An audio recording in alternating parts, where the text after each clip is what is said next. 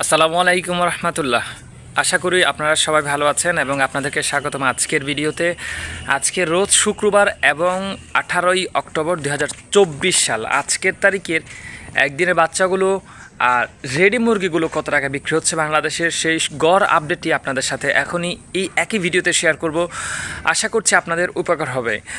তো অনুরোধ করব আপনারা ভিডিওটি শেষ পর্যন্ত দেখার জন্য, তাহলে আপনি সম্পূর্ণ বিষয়টা বুঝতে পারবেন, বাচ্চার দামটিও বুঝতে পারবেন। মুরগির দামটিও বুঝতে পারবেন। আর অনেকে প্রশ্ন করেছেন, এখন এত দামে বাচ্চা নিলে লাভ হবে কি? সেই প্রশ্নটিরও কিছু বিস্তারিত আলোচনা করার চেষ্টা করব। আশা করছি ভিডিও শেষাংশে আপনার পর্যন্ত দেখলে সেই বিষয়টি ক্লিয়ার হবে আপনাদের। তো সর্বপ্রথম আমরা বাচ্চার যে দামটা, সেই বিষয়টা নিয়ে আমরা আলোচনা করি। তো আজকে যেহেতু শুক্রবার অফিসিয়ালি তেমন কোনো ব্রয়লার বা অন্যান্য কোম্পানি বাচ্চা সেল করে না এবং বাচ্চা বর্তমানে একটা সংকট চলছে গত দুই থেকে তিন দিনের মধ্যে। এটা সেটা আপনারা অলরেডি নিউজ পেয়েছেন। তো তারপরও আমি প্রথমে আপনাদের সাথে গতকালকের তারপর কিছু কিছু কোম্পানি হয়তো আনসোল বাচ্চাগুলো বিক্রি করতে পারে। আনসোল এবং বাচ্চাগুলো সেই বিষয়টা নিয়ে আসছি পরে। তো সর্বপ্রথম সোনালি দিয়ে আমরা শুরু করি। সোনালি যে বাচ্চাটা নর্মালটা সেটা আজকে বিক- বিক্রি হচ্ছে বত্রিশ টাকা ক্লাসিক চৌত্রিশ ক্রস আপনারা ছত্রিশ, এরপর হাইব্রিড যেটা সেটা আটত্রিশ, আর সুপার হাইব্রিড যেটা সেটা উনচল্লিশ থেকে চল্লিশ টাকার মধ্যে আপনারা সংগ্রহ করতে পারবেন। Tiger colour bird brown cock, এই বাচ্চাগুলো আপনারা আটচল্লিশ টাকা থেকে পঞ্চাশ টাকার মধ্যে সংগ্রহ করতে পারবেন।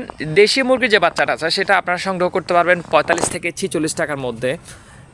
আর কোয়েল হচ্ছে বারো টাকা। একদিন বাচ্চাটা আর আরেকটা বিষয় হচ্ছে যে খাকি ক্যাম্পেল যে হাঁসের যে বাচ্চাটা, সেটা হচ্ছে আপনারা সংগ্রহ করতে পারবেন পঁয়ত্রিশ থেকে আটত্রিশ টাকার মধ্যে।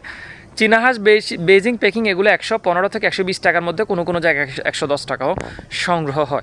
তবে এতক্ষণ এতক্ষণ যে বাচ্চাগুলোর দামগুলো আমি বলেছি, ব্রয়লার বাচ্চা ছাড়া এই বাচ্চাগুলো আপনারা যদি লোকালি থেকে সংগ্রহ করতে পারেন, বা আপনার যদি ট্রান্সপোর্টের বিষয়টা বা দূরত্বটা যদি আরও একটু কম হয়, তাহলে এই ক্ষেত্রে দামটা আরও দু এক টাকা কম আপনারা নিতে পারবেন। যেহেতু অ্যাভেলেবেল লোকাল কোম্পানিগুলো বাংলাদেশের এখন এই বাচ্চাগুলো সোনালি টাইগার কালার বার্ড দেশি, এই বাচ্চাগুলো কোম্পানিগুলো ব্যক্তিগতভাবে অনেক উদ্যোক্তাগুলো তৈরি করছে। তার মানে আপনি যদি কয়েকজন উদ্যোক্তার কাছে সাথে যোগাযোগ করে আপনি যদি বাচ্চাগুলো নেন, তাহলে আর দু এক টাকা কমে সংগ্রহ করতে পারবেন। একটা বিষয় মাথা রাখবেন, যেই পণ্যটা কিনতে আপনি জয়ী হবেন, সেই পণ্যটা বিক্রিত আপনি জয়ী হবেন। এই বিষয়টা মাথা রাখবেন। অর্থাৎ আপনি যদি কমে কিনতে পারেন, বিক্রিত বাড়তি লাভে বিক্রি করতে পারবেন। ঠিক আছে? আচ্ছা। এখন আসব ব্রয়লার বাচ্চার যে বিষয়টা। ব্রয়লারও আপনার অনেকগুলো কোম্পানি আছে, কাজী আছে প্রবিটা আছে, নাহার আছে, নারিশ আছে, আমান আছে, একাত্তর আছে এভরিথিং অনেকগুলো কোম্পানি আছে।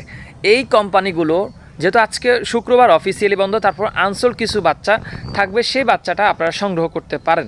যদি থেকে থাকে বা এটা যদি ডিলাররা কখনো ফোন করে বা কোনো অ্যাসার বা কোম্পানির প্রতিনিধি যদি আপনাকে ফোন করে, আপনি নিতে পারবেন। তবে সেটা হচ্ছে গতকালকে যে দামটা ছিল, সেই দাম থেকে দুই এক টাকা কমে নিতে পারেন।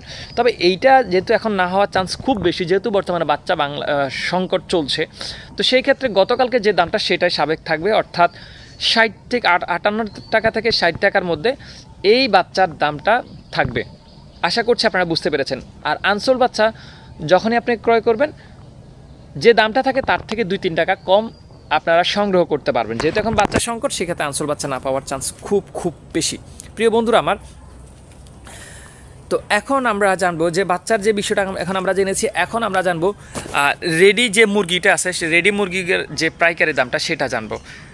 এখন বাচ্চা এনে বিক্রি হবে না আনঅফিসিয়ালি কিন্তু অফিসিয়ালি বিক্রি হবে না, কিন্তু মুরগি তো বিক্রি হওয়া বন্ধ হবে না। মুরগি অল টাইম চলে। হ্যাঁ মানে চলে মানে বিক্রি হয়। এমন না যে আজকে আজকে একটা দিন, এই দিনে মুরগি বিক্রি করা বন্ধ, এমন না। এমন দিন নেই।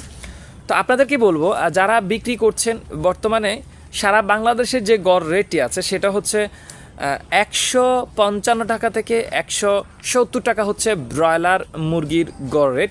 এখন আপনারা বলতে পারেন যে, ভাইয়া আপনি ফিক্সড একটা কেন বলতেছেন না? যে একশো পঁয়ষট্টি হলে একশো পঁয়ষট্টি রেট দেখেন। আপনার চাহিদা এবং সাইজের উপর ভিত্তি করে। চাহিদা এবং সাইজের উপর ভিত্তি করে মুরগির দামটা দু এক টাকা এদিক সেদিক হয়ে থাকে। ঠিক আছে? তো ওই ক্ষেত্রে ওই বিষয়টা আপনাকে মেনে নিতে হবে। তখন আপনার এলাকায় যদি চাহিদা বেশি থাকে, তার মানে রেট যদি একশো ষাট টাকা হয়, দেখবেন পাইকার আপনাকে একশো সত্তর টাকা দেবে। যদি ধরেন এলাকায় চাহিদা শুরু গেছে কয়েক রেস্টুরেন্টটা মুরগি নিচ্ছে, অনেকগুলো বিয়ে একসাথে লাগছে যে কোনো একটা প্রোগ্রাম রেডি হয়ে গেছে মানে এইরকম যদি চাহিদা হয়, তখন দেখবেন দাম ষাট টাকা হলে কি হয়েছে? ওই পাইকারেরা যখন চারপাশে মুরগি পাবে না, তখন আপনাকে সত্তর টাকা দিয়ে আপনার থেকে নিয়ে নেবে। আর অনেক সময় হয় যে কি এলাকায় যখন অতিরিক্ত মুরগি উৎপাদন হয়ে যায়, আপনি যে এলাকা আছেন সেই এলাকায় যদি অতিরিক্ত মুরগি উৎপাদন হয়ে যায়, তাহলে ওই ক্ষেত্রে দাম ষাট টাকাও হয়। আমরাও বলি ষাট টাকা, কথার কথা। তখন ওই পাইকারে আপনাকে ফোন করে বলবে যে, পঞ্চাশ টাকা দিবেন বা অন্য টাকা দিবেন, নাহলে অন্য দিক থেকে মাল নিয়ে নিব, মাল আছে অ্যাভেলেবেল তো ফাফার এমনি মারে ওরা, বুঝছেন? এগুলো বাস্তব বিষয়। এগুলি বাস্তব। বাস্তব এই বিষয়গুলো ফেস করে আসছি। তো যাই হোক ব্রয়লারের যে বিষয়টা, সেটা হচ্ছে একশো পঞ্চান্ন থেকে সত্তর টাকার মধ্যে আছে সোনালি দুশো পঞ্চাশ থেকে ষাট টাকার মধ্যে আছে। টাইগার কালার বার্ড এগুলো হচ্ছে আপনার দুশো পঁচিশ থেকে তিরিশ টাকার মধ্যে আছে ব্রাউন কোক দুশো পনেরো থেকে বিশ টাকার মধ্যে আছে। এই বিষয়গুলো আপনারা একটু কাইন্ডলি খেয়াল রাখবেন। সোনালি হাইব্রিডটা সোনালি হাইব্রিডটা টাইগারের মতোই দামে বা ব্রাউন কালার বার্ডের দামেই বিক্রি হয়। তো বন্ধুরা, সর্বশেষ একটা কথা বলেছিলাম শুরুতে যে এখন বাচ্চা যদি আপনারা সংগ্রহ করেন, এই বাচ্চাগুলা কি বাড়তি দামে বিক্রি করতে পারবেন কিনা? আমার একটা, এক কথায় ক্লিয়ার আগামীকালকে কি হবে কেউ জানে না। আপনারা এখন হুর করে সবাই বাচ্চা নিচ্ছেন। কেন বাচ্চা নিচ্ছেন? টার্গেট কি? ওই যে একশো সত্তর, পঁচাত্তর টাকা বিক্রি করতে পারবে বাহাত্তর টাকা বিক্রি করতে পারে এই লোভেই প্রত্যেকটা খামারে দেখেন বাচ্চা উঠাচ্ছে। বাচ্চা উঠার কারণে কী হয়েছে? কোম্পানিতে বাচ্চা সংকট দেখা দিছে। কোম্পানি বাচ্চা সাপ্লাই দিয়ে পারছে না। সেজন্য এখন আপনারা বলেন, এই যে সবাই একসাথে বাচ্চা নিচ্ছেন ভাই, বাচ্চাগুলো একসাথে বের হবে না। একই সাথেই তো বের হবে।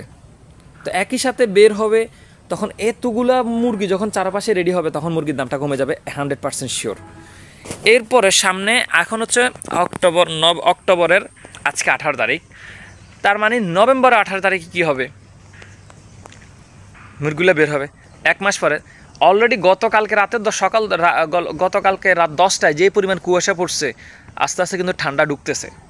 বিষয়টা মাথায় রাখবেন। হ্যাঁ এখন গত পরশুদিন আমি একটা ভিডিওতে বলেছিলাম, তখন একজন বলছে, ভাই, শীতে মুরগির দাম বাড়ে। আপনি বলতেছেন মুরগির দাম বাড়ে না। শোনেন, শীতে মুরগির দাম বাড়ে না। কেননা, শীতে প্রত্যেকটা খামারি চেষ্টা করে ওই যে স্ট্রোক গরমে স্ট্রোকের ভয়ে শীতে মুরগি তোলে। এবং সেখানে লালন পালন করে। যার এক হাজার খামার আছে, শীতে সে তেরোশো মুরগি তোলে। যার পনেরোশো খামারের ধারণ ক্ষমতা আছে, সে আঠারোশো তোলে। কারণ শীতে মুরগির জায়গাটা একটু কমই লাগে।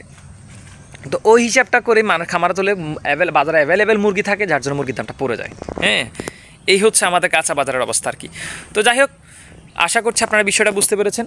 ভালো থাকবেন, সুস্থ থাকবেন। আর আপনাদের যদি কোনো বিষয় জানতে চান, মুরগি পালন সম্পর্কে, কোনো প্রকার চাকরি সম্পর্কে এভরিথিং যে কোনো বিষয় নিয়ে যদি জানতে চান কমেন্ট করে জানাবেন। যদি সেই বিষয়টা আমার জানা থাকে, অবশ্যই আপনাদের সাথে সেই বিষয়টা শেয়ার করা হবে। আসসালামু আলাইকুম রহমতুল্লাহ।